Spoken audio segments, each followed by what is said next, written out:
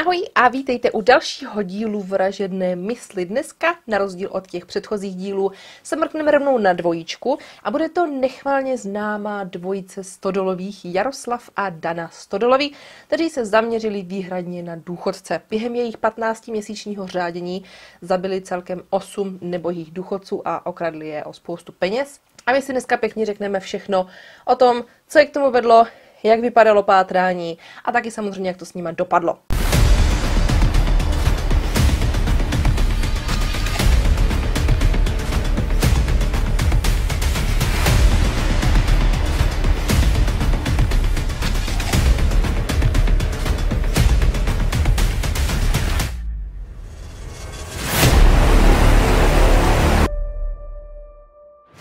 Nicméně začneme úplně na začátku, jako obvykle, a to malinkým tím představením rodinného zázemí obou dvou. Začneme Jaroslavem, ten se narodil 8. května v roce 1966 ve městě Lančkroun. Nicméně poměrně brzo se její sedmičlená rodina, takže měl čtyři sourozence, přestěhovala do Chaběřic a tam potom bydleli nějakou dobu. Jeho mládí nebylo úplně ideální, jeho otec byl alkoholik a velice rád byl svou rodinu, takže děti i manželka to měli docela těžký. Jaroslav jako takovej, eh, řekněme, nevím, jestli to bylo kvůli tomu, jako že by bylo hloupej, to si úplně nemyslím, ale spíš neměl motivaci eh, ke vzdělání už v první třídě, což mě docela šokovalo už v první třídě ho prostě škola přestala bavit a tak chodil za školu, eh, takže první třídu musel dokonce opakovat a druhý stupeň základní školy pak dochodil ve zvláštní škole. Já nevím, jestli se ještě dneska může říkat zvláštní škola, nebo jestli se to už musí říkat základní škola, ale všichni víme prostě, základku musel dochodit ve zvláštní škole. Takže vzdělání ho asi úplně moc nebralo, protože hnedka po té základní škole tak začal jsem tam prostě pracovat jako pomocný dělník nebo nějaký takovýhle pomocný práce a snažil se víceméně prodírat životem. Už ve 13 letech začal holdovat alkoholu, to asi nejspíš viděl u tatínka, nevím, jestli měl pocit, že to nějakým způsobem funguje, ale nicméně od 13 let konzumoval alkohol, potuloval se různě po, po okolí a říkal si víceméně o problémy. V 17 letech po jedné ostřejší hádce s tátem ho milý otec vyhodil z domu, takže se musel velice rychle osamostatnit, prakticky ještě před tím oficiálním věkem 18 let, kdy jste teda papírově dospělý a v těch 17 letech, respektive 17-18 let, tak poznal svoji asi první pořádnou lásku a už po třech měsících známosti se vzali. Nic proti tady těmhle těm lidem, co se berou strašně mladí a já jim to samozřejmě přeju, ale upřímně neřekla bych, že by to úplně jako moc fungovalo, zvlášť když jenom po třech měsících, v 18 letech po třech měsících vědět, že si někoho chcete vzít, no nevím. Taky to tak dopadlo, jak jsem si v zásadě myslela už od začátku. Celý ten vztah vydržel přibližně asi půl roku a pak se rozvedli, takže to bylo takový jako, nevím. Zajímavá zhoda náhod 30. Eh, prosince v roce 1988, potom co se rozvedl se svou první manželkou a bylo mu 22, tak se poprvé v životě potkal s Danou, v té době Bábikovou, takže se potkali už jako velice mladí a zamilovali se do sebe a začali spolu chodit, ale jo, kombinace prostě toho mládí a to tak jako prostě nevydrželo jim to moc dlouho a rozešli se. Mezitím tak Dana to si řekneme za chviličku, měla svoje vlastní problémy. A ta Jaroslav tak se trošičku vrhnul na eh, kriminální činnost, takže byl trestně stíhaný, dokonce chvilku i seděl. Celkově měl na kontě čtyři trestné činy, měl zápis samozřejmě v rejstříku a, jak jsem zmiňovala, nějakou dobu si poseděl i ve vězení. Můžeme přejít na Danu. Ta se narodila 19. července v roce 1970 na Slovensku, takže je původně Slověna. Byť pochází ze smíšeného manželství, její tatínek byl Rom a maminka Slověna.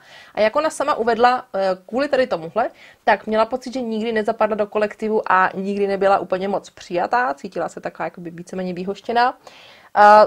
Na druhou stranu jo, proti eh, Jaroslavovi, tak co se týče vzdělání a učení, tak jí to šlo. Byla poměrně dobrou studentkou, základní školu vychodila celkem bez problémů a nastoupila dokonce i na gymnázium, který nějakou dobu studovala. No ale studium nedokončila a to z toho důvodu, že se v 15 letech zamilovala eh, do jednoho chlapce a neplánovaně otěhotněla a vzala si ho. Takže se v nějakých 16 letech vdávala a rovnou už měla dítě. Takže samozřejmě školu musela přerušit a už ji nikdy, už ji nikdy potom nezačala studovat znova, takže má taky dochozený jenom základní vzdělání. Nicméně není to žádný blbec. Teď tenhle ten vztah s tím otcem její dcery moc dlouho úplně nevydržel. Ona, nevím přesně, co se stalo, ale s už s dvouletou svou dcerou tak dokonce utekla ze Slovenska do České republiky a přestěhovala se eh, ke svým mamince, která bydlela mimo jiné taky v České republice, to jsem se nerozvěděla, jak ona se tam dostala. Přestěhovala se na Kutnohorsko do vesnice jménem Slavošov, eh, do domu s číslem popisným 31 a tam bydlela se svou eh, maminkou, která která se v zásadě primárně starala o tu svoji vnučku, protože Dana se snažila nějakým způsobem vydělávat si a hm, jak to říct, já nechci jako být nějaká zlá na nějaký uh, zaměstnání, který mě osobně třeba přijdou takový trošku divný, nicméně dělala tanečnici v nočním klubu v jednom takovém nočním klubu tak potkala i svého druhého budoucího manžela, který ho si vzala a odstěhovala se s ním eh, do Kanady, kde pokračovala ve svých evidentně úspěšné kariéře tanečnice v nočních klubech. Ale taky ten vztah úplně moc dlouho nevydržel a vrátila se zpátky potom do Čech. Z hodou náhod opět potkala Jaroslava Stodoly a tak nějak se vrátili prostě k sobě, takže ten celý kruh se uzavřel a bydleli spolu s její mámou ve Slavošově. A tam začíná veškerý tady tenhle ten příběh neblaze známej tady těchto těch dvou úžasňáků. Všichni tři teď bydlí spolu s tchýní ve Slavošově a člověk by řekl, že můžou žít poměrně normální život. Samozřejmě s tím nízkým vzděláním si nemohli úplně vyskakovat, co se peněz týče a místo toho, aby se snažili najít si nějakou dobrou práci, tak překvapivě jsem zjistila, že to přišlo od té Dany. Začala vymýšlet, že by mohli vydělávat peníze tím, že by okrádali starý lidi. Protože starý lidi jsou samozřejmě nemohoucí, nebo nebudou se tak bránit, jsou jednoduchý cíl na ty útoky. A tlačila tak dlouho na toho Jaroslava. On jako úplně nevypadal, že by byl z toho nějaký dvakrát nadšený, ale ona prostě na něj tlačila, tlačila, tlačila, vymýšlela prostě, jak by to mohli udělat, až ho teda dotlačila k tomu prvnímu útoku. Tohle to bude malinko zajímavý. Já jsem samozřejmě hledala z různých zdrojů ty informace o těch jednotlivých útocích a Možná ten první útok, který vám budu popisovat, oficiálně nepatří na seznam jejich vyložení jakoby těch útoků, kdy někoho zabili, protože ten člověk přímo neumřel během toho útoku, ale do roka potom. Chtěla bych ho vám stejně říct, takže buď je to jejich první útok, anebo je to, dejme tomu, nultý útok. Důvete si to, jak chcete. Takže 30. září v roce 2001 se oba dva vydali do vedlejší vesnice Chaběřice, aby zaútočili na 77-letého Aloise Miškovského, který tam bydlel sám v domově.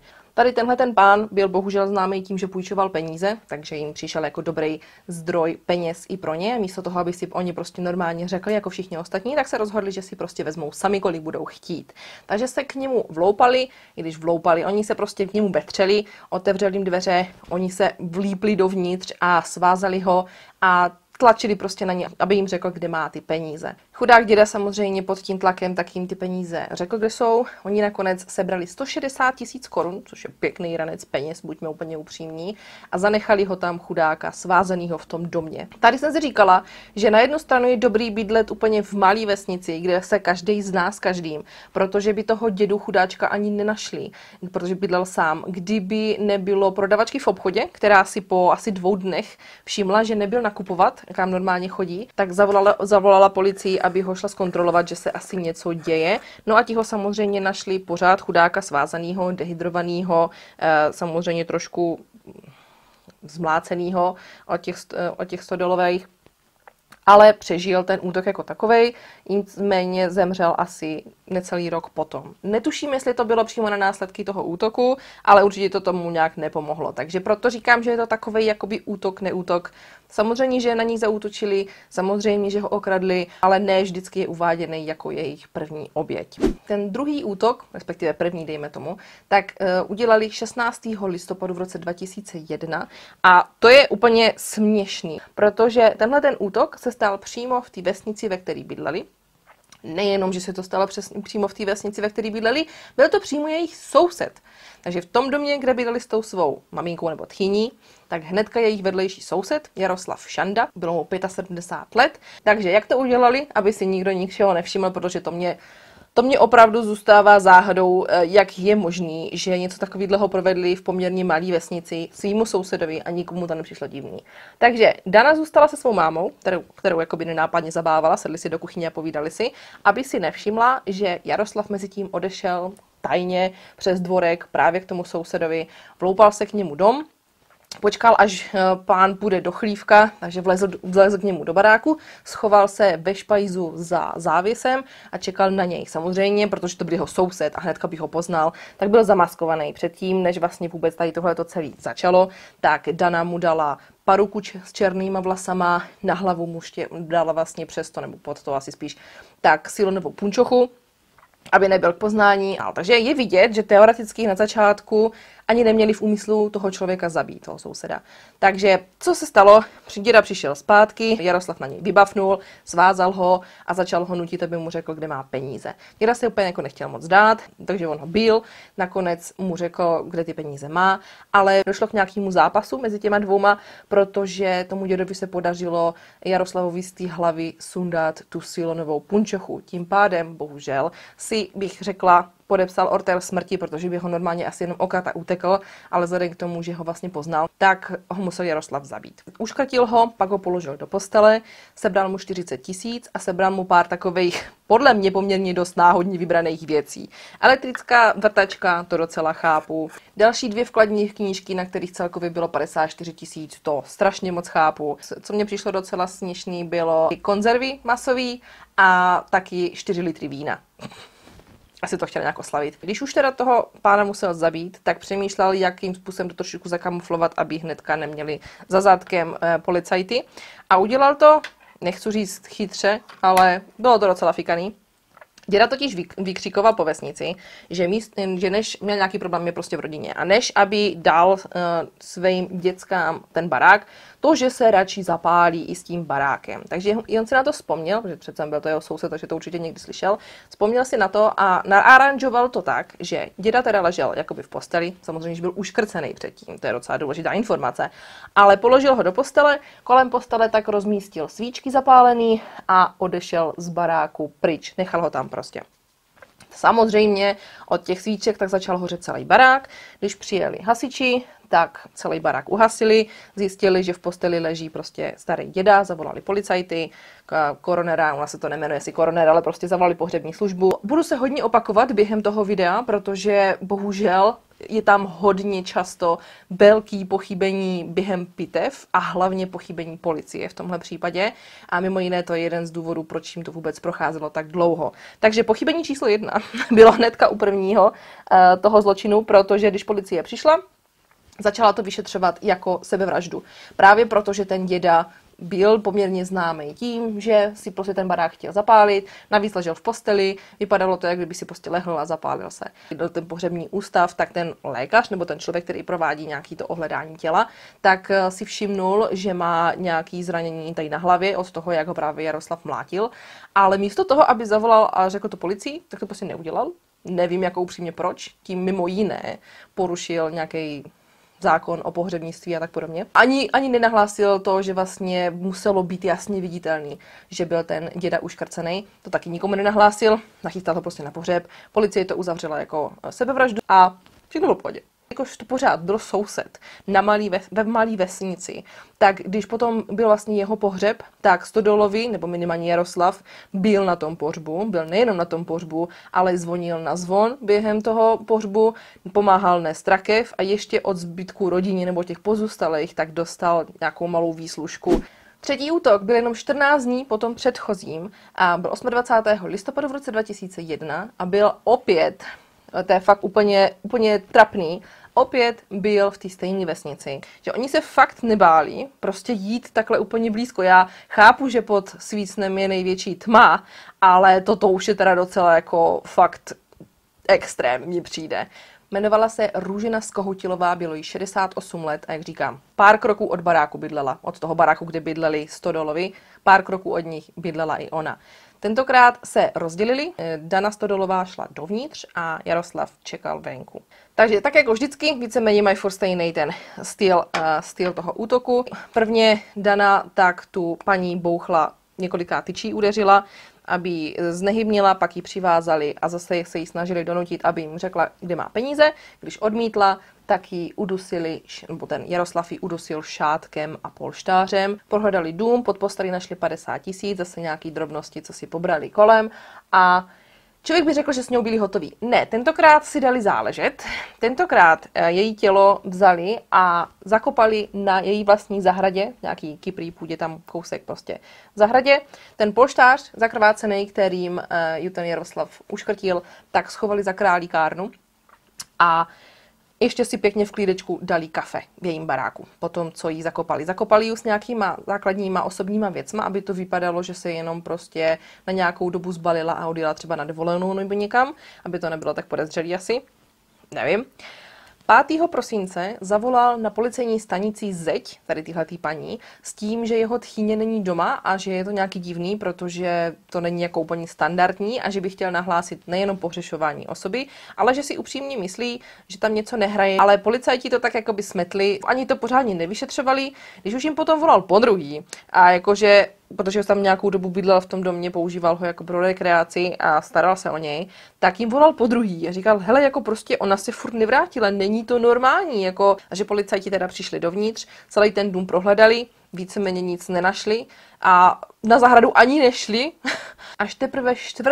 května v roce 2002 od prosince, respektive od konce listopadu až do 4. května, nikdo s tím nic nedělal a nepřišlo policii jako zvláštní, že ta paní prostě zmizla, tak až toho 4. května chtěl na té zahradě udělat foliovník, kopl do země, našel ruku, takže zavolal policajty, a konečně se policajti rozhodli prostě s tím něco dělat. Stodolovi měli v tomhle tam trochu štěstí, když to řeknu takhle blbě, protože zrovna v té době po té vesnici tak se potulovala trojice takových podivných týpků. Byli to dva Ukrajinci a Čech, kteří se taky zaměřovali na důchodce, ale samozřejmě žádný důchodce nezabíjeli. Byli to čistě takový ty klasický podobní uh, zlodějíčkové, co se vydávají za nějaký ty ještě do nedávna to dělali s těma e- energiemi a tak podobně. Tihleti tři borci chodili tady po okolních vesnicích zrovna v té době a tak policie prostě to chtěla hodit na ně, je teda taková blbá zhoda náhod zrovna, že oni opravdu u té paní byli.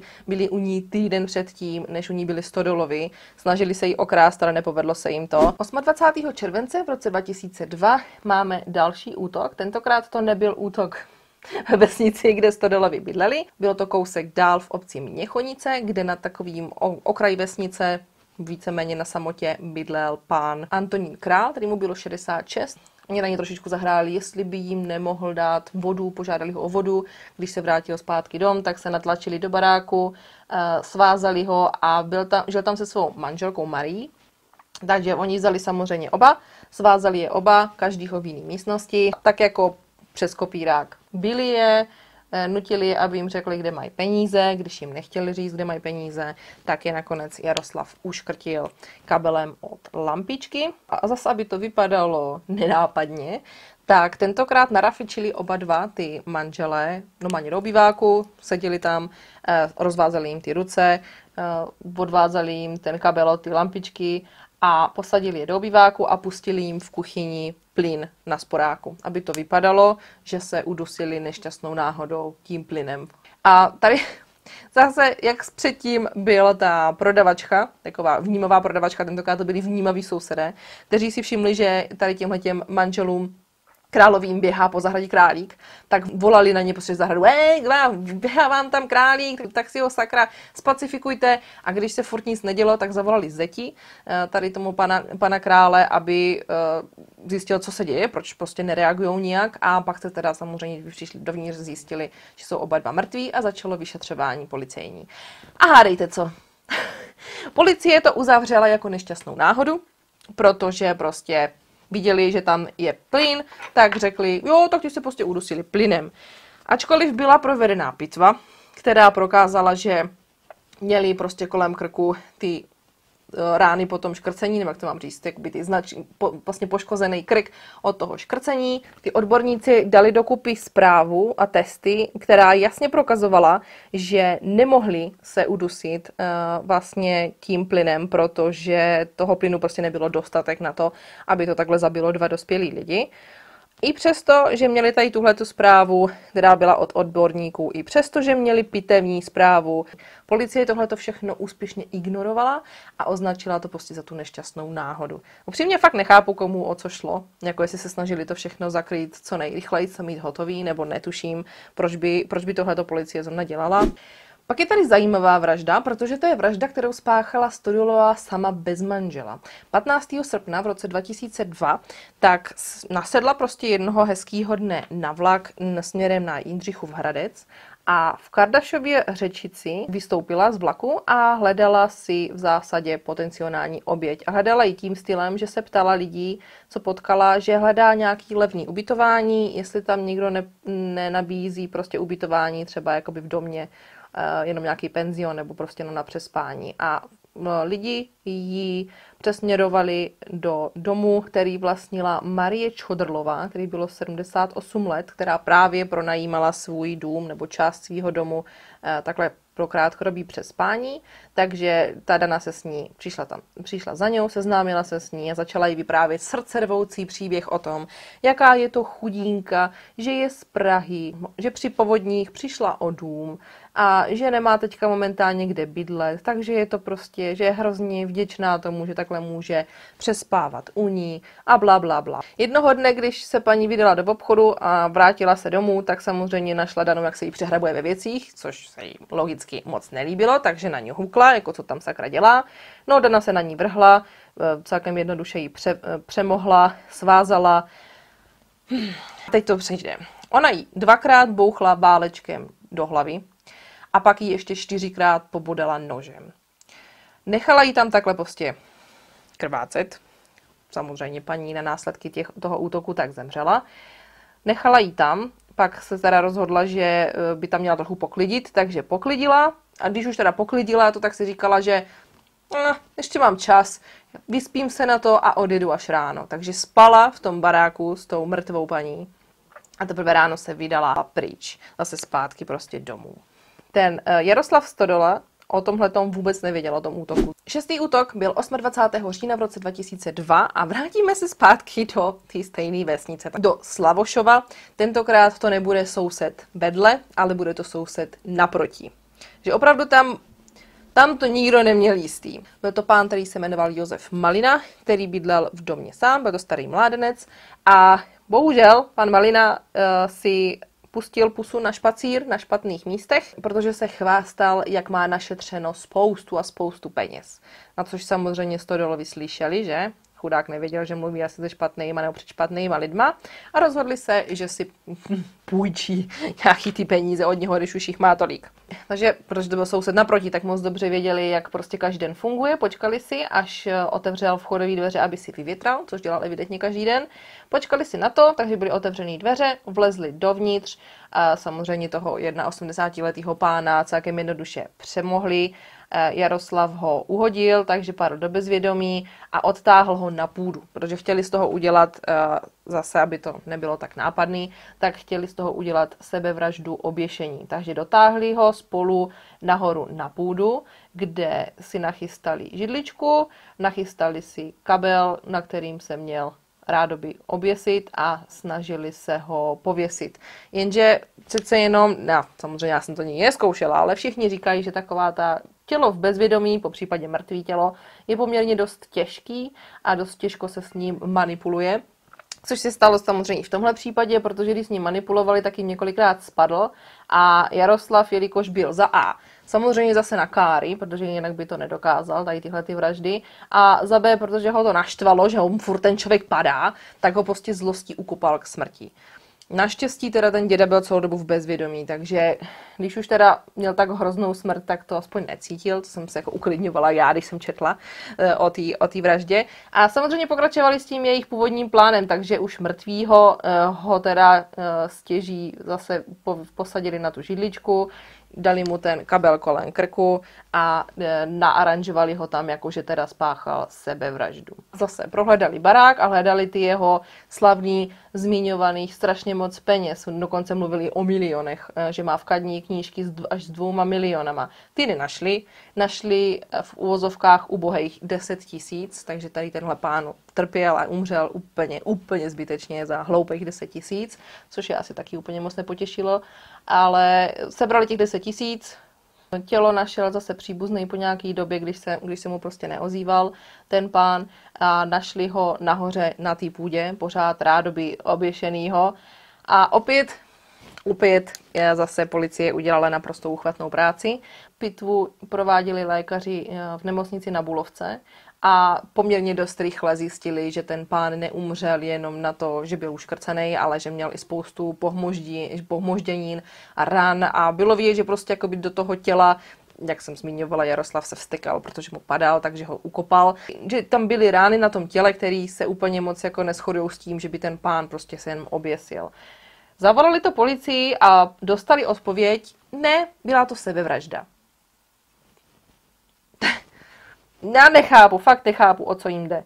A co je na tom prostě úplně fakt hrozný, je i fakt, že kdokoliv znal toho dědy, tak věděl, že je to pán, který mu je 1,80, sotva se šourá, je napůl slepej, má 12 dioptrií, ty tlustý brejle eh, měl na stole dole v kuchyni a určitě určitě si ty brejle sundal, určitě vachrlatě vylezl nahoru na půdu, určitě si přehodil ten kabel přes trám a určitě se sám udus, uh, uškrtil a ještě se umlátil k smrti, ne? No prostě naprostej výsměch, jako tohle to je fakt úplně, mi to to úplně nerví, jako jak může policie dělat prostě, že tohle to nevidí, když to vidí úplně každý, jenom ta policie ne. 2. prosince v roce 2002 se potom Stodolovi vloupali do domu v Brněnci a v tomto případě zautočili na nejvíc lidí naraz, na tři. Protože to byl obytný dům, ve kterém bydlela paní, který už bylo 92, spolu se svou dcerou, který bylo 62 a ještě měla druhou dceru, který bylo 52. Během toho útoku nezemřeli všichni tři, ale jako zázrakem ten útok jako jediná přežila právě ta maminka, ta nejstarší, ta 92-letá paní, Důvod, proč zautočili právě tady na tuhle tu rodinu, bylo, že v té době tak Stodolovi nebydleli moc daleko od té ubytovny a zjistili, že ta jedna z těch dcer, Helena, eh, tak měla nějaký, by měla mít údajně peníze, protože chtěla koupit jakoby celý ten bytový dům. Takže zaútočili na ně všechny, dokázali je svázat, tu starou paní tak Jaroslav hodil na postel, celou vahou na ní lehl, snažil se jí prostě udusit. Když cítil, že se přestala hýbat, tak šel od ní s tím, že prostě už, už je dokonáno a šel se věnovat těm sestrám tu jednu tak dal do vany, napustil jí vodu a snažil se jakoby nahrát to, že by se utopila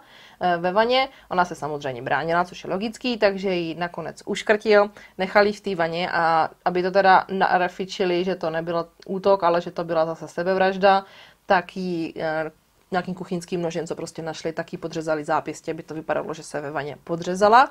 Tu druhou tak se svázali, uškrtili a nechali na tom místě, aby to vypadalo vlastně, že se nikdo nevloupal dovnitř, ale že to všechno bylo mezi těma sestrama, že prostě jedna sestra zabila druhou sestru, pak spáchala sebevraždu ve vaně, protože to neunesla a stará máma z toho dostala infarkt. Takže zase pozbírali nějaký peníze po baráku a odešli pryč. Jak jsem říkala, ta 92-letá paní to nějakým zázrakem e, přežila, celý tedy tenhle ten útok, takže byla schopná zavolat policii a byla schopná jim dokonce dát i nějaký popis těch svých útočníků.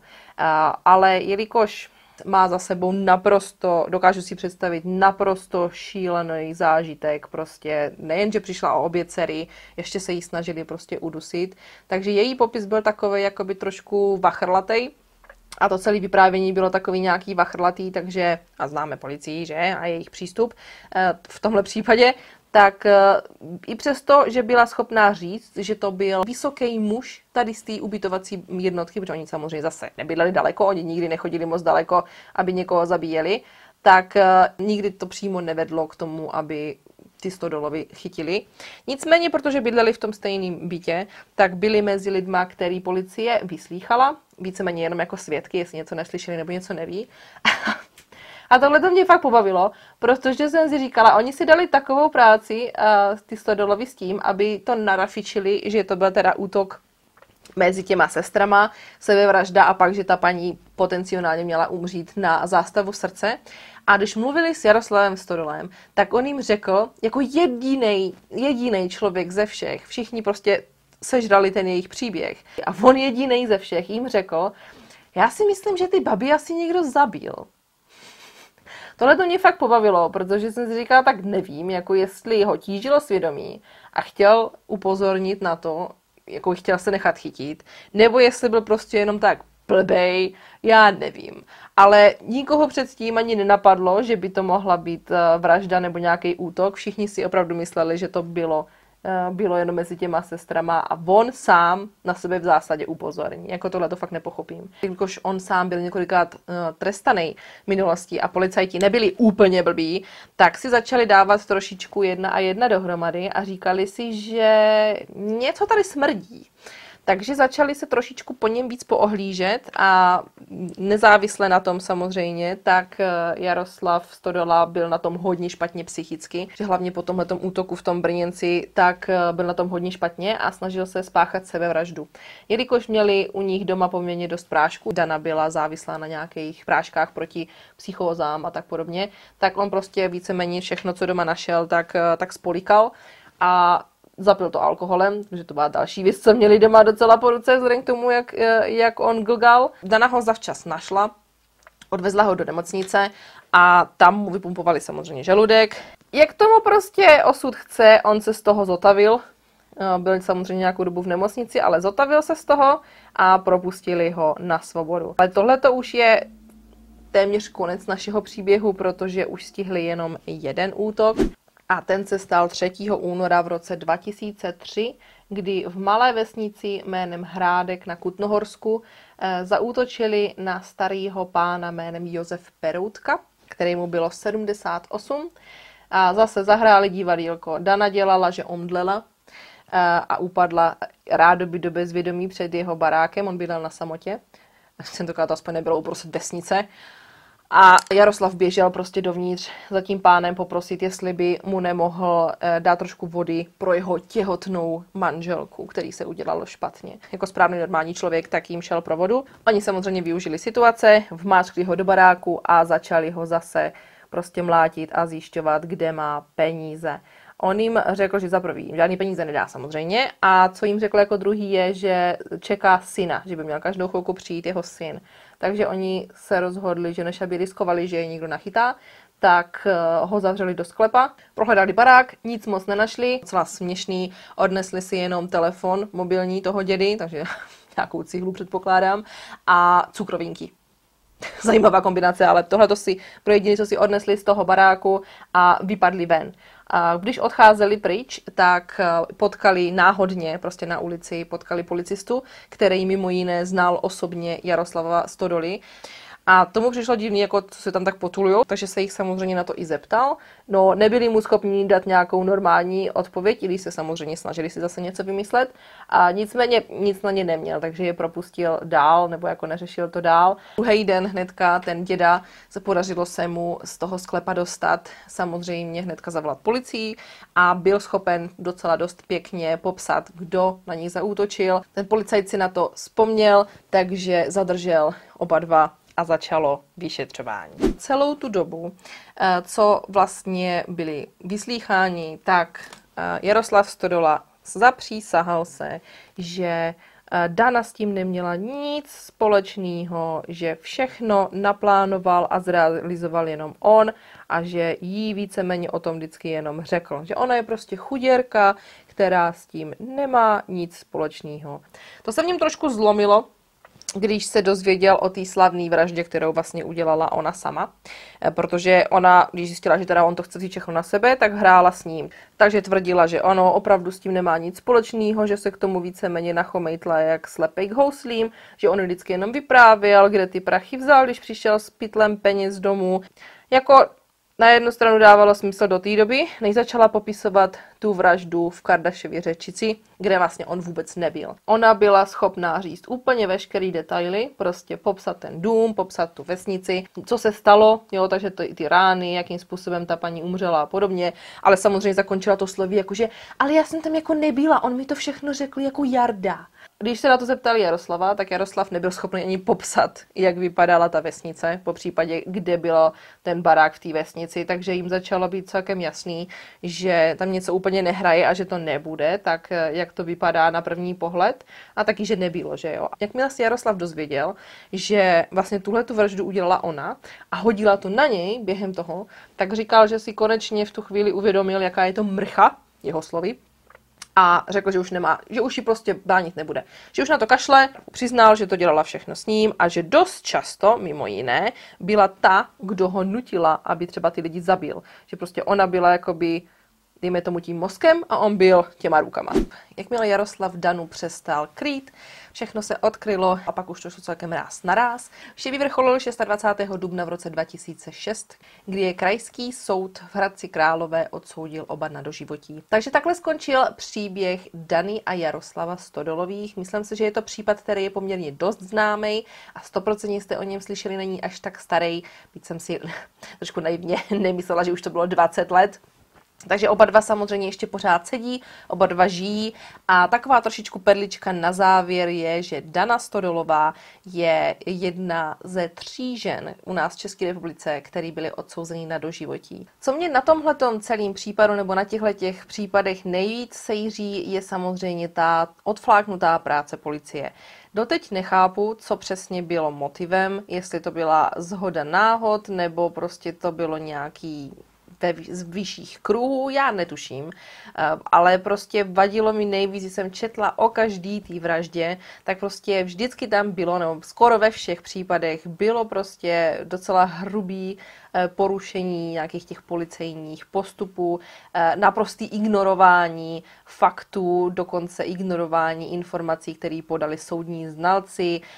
Některé ty pitvy, které byly udělané, nevím, mně přišlo, kdyby je dělal někdo úplně neskušený, že nebyl schopen prostě zpátky reportovat a poznat, že byl ten člověk zabitý třeba tím škrcením. Eh, je to fakt smutný, protože si myslím, že by tyhle ty lidi mohli sedět mnohem dřív a zachránili by se další životy. Takže tohle bylo ode mě všechno. Dejte mi vědět jako obvykle do komentářů, co si myslíte o tomhle videu, po případě, co si myslíte o stodolových a, a máte-li nějaký tip na dalšího vraha, kterýho bychom mohli probrat. Jsem otevřená všem nápadům. Já se na vás budu těšit u dalšího videa, ať už je to make-up tutoriál nebo zase vražedná mysl. Mějte se krásně, dávejte na sebe pozor a zatím ahoj!